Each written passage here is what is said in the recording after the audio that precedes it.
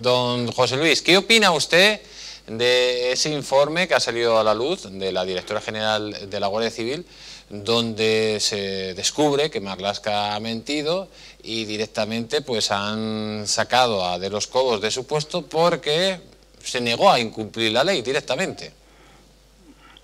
Mire, ya, ya hablamos la semana pasada de ello y, y previo a lo que voy a decir, porque voy a reiterarme en lo que dije, eh, esta semana, el jueves, eh, ha aparecido una carta eh, con la que me quiero solidarizar plenamente, que es una carta al Partido Socialista Obrero Español que la firman Nicolás Redondo, Manuel Valls, Manuel Valls y Francés de Carreras, y que los oyentes debieran de conocerla y muchos ciudadanos debieran de, apoyarla. Me pregunta usted de que mintió el señor Marlaska. No, el señor Marlaska es la quinta vez que miente. No, a, este paso le va a coger al señor Ábalos. Eh, mintió cuatro veces antes, cuando sucesivamente dijo que es que era una cosa de reorganización, que era una cosa, en fin, lo dijo eh, sin buscar más eh, justificaciones, lo dijo en el Senado, lo dijo en el Congreso, o dicho de otra forma, ha mentido en el Senado y en el, y en el Congreso. Pero es que la última mentira que ha dicho el señor Marlaska, que ha sido este miércoles en la sesión de control al gobierno ya roza eh, aspectos más fundamentales eh, de la personalidad de este buen hombre.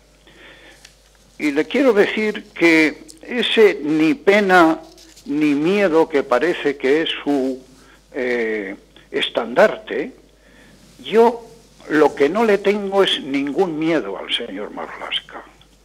Y en esta situación lo que sí me da es bastante pena, porque es lo que le tiene que suceder a cualquier ser humano cuando ve que otro está atravesando por una dificultad insuperable, porque no se puede mentir, eso no puede ser gratuito. Tendría que haber dimitido hace mucho tiempo y ahora políticamente es un responsable político acabado. No tiene sentido. Vamos a ver. El documento que hace público el periódico El Confidencial, la directora general de la Guardia Civil le dice que por no informar del desarrollo e investigaciones y actuaciones de la Guardia Civil en el marco operativo, hasta hoy está bien, y de Policía Judicial. Ahí, ahí es donde la cosa ya empieza a complicársela a la directora general. Pero no solo a la directora general, porque para justificarse de alguna forma, el miércoles pasado el señor Marlasca explotó bueno, explotó en la forma que suele explotar, ¿verdad? Explotó muy distinto a la forma que yo pudiera explotar, pero explotó. Y señaló un hecho gravísimo, dijo, porque ha habido filtraciones de cosas secretas, dice el señor Marlasca, porque al parecer un medio digital tiene conocimiento de todo o de parte de un informe el pasado día 22 de marzo. Bien, mire usted, filtraciones de informes de la policía y de la Guardia Civil que hayan estado eh, trabajando para jueces de instrucción. Ha habido tantas que los periódicos han tenido auténticos especialistas. Había uno en el país que sacaba petróleo del juzgado número 5, cuando ese juzgado lo dirigía Baltasar Garzón. Y, oh casualidad, aparece que una filtración parece que es el crimen de Cuenca. Oiga, pero si los periodistas de este país de tribunales han vivido durante años de filtraciones, ojalá no se produjeran, pero habiéndose producido, a la que le corresponde dirimir ese asunto no es al señor Marlasca, ministro del Interior, es a la juez de instrucción, la que tiene que tomar cualquier decisión que le parezca pertinente, no es el ministro, es la juez.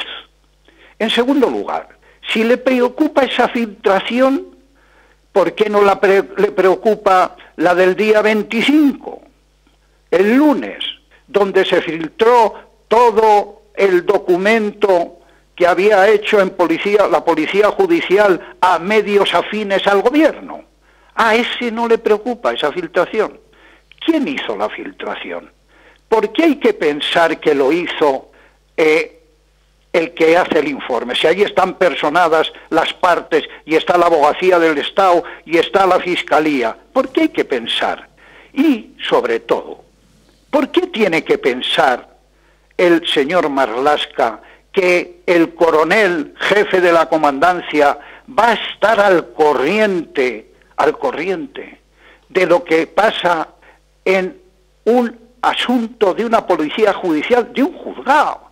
Pero si es que, fíjese, no sé quiénes forman parte de esa policía judicial, pero lo más probable es que no hayan informado ni a sus superiores. Lo más probable, casi con seguridad. Y por tanto, ¿qué le tiene que decir el señor Marlasca al señor de los Cobos? Pero además ¿por qué establece una sospecha absolutamente injustificada? Si quien han citado ustedes antes levantara la cabeza, ¿verdad? Si el anterior, si aquel ministro del Interior, el que depositó la confianza en este coronel y en otros, y en el DAO de la Guardia Civil y en, en toda la Guardia Civil levantara la cabeza, le podría decir muchas cosas, muchísimas cosas al señor Marlasca. ¿Cómo permites con tu actitud, ministro, ensuciar a los cuerpos y fuerzas de seguridad del Estado, que caiga sobre ellos un manto de sospecha? Lo que pasa es que no lo va a conseguir, porque la ciudadanía, los que nos estén oyendo o viendo, tienen que saber que lo que ha ocurrido es un acto de despotismo ilustrado. Y lo más probable es que le haya ocurrido al señor Marlasca en esta ocasión lo mismo que le ocurrió cuando se eh, detuvieron a los CDR, ¿verdad? Eh, aquellos que estaban fabricando explosivos y que le causó tal enfado con el director de la Guardia Civil, de aquella época, en aquel momento, porque parece ser que no lo había informado, entre otras cosas probablemente porque tampoco él lo sabía, que no contó con él cuando formó otra vez el equipo. Es decir, no lo cesó porque lo había pactado con la ministra de Defensa. Eh, miren ustedes, eh, señor Marlasca, ya le he dicho antes que miedo ninguno. Una cierta pena me da, pero le va a decir alguien que ha dimitido de casi todo.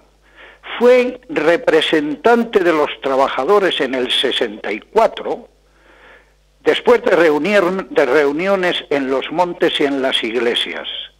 Fui representante de, de los trabajadores de Altos Hornos de Vizcaya hasta que cuando ingresé en la UGT era imprescindible dimitir de aquella institución y dimití y fui nuevamente miembro del comité de empresa cuando los comités de empresa no eran legales. Impusimos esa legalidad.